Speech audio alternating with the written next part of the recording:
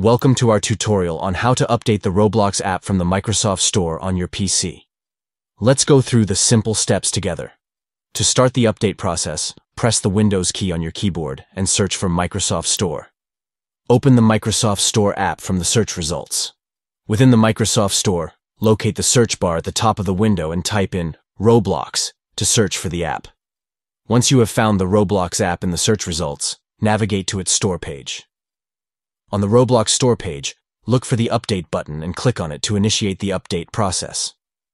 The update can vary in duration, ranging from a few seconds to a few minutes, depending on the size of the update and your internet connection speed.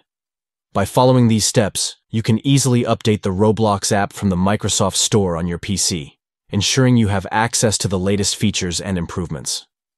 Thank you for watching, and we hope this guide has been helpful in demonstrating how to update Roblox from the Microsoft Store seamlessly. Enjoy the updated Roblox experience on your PC.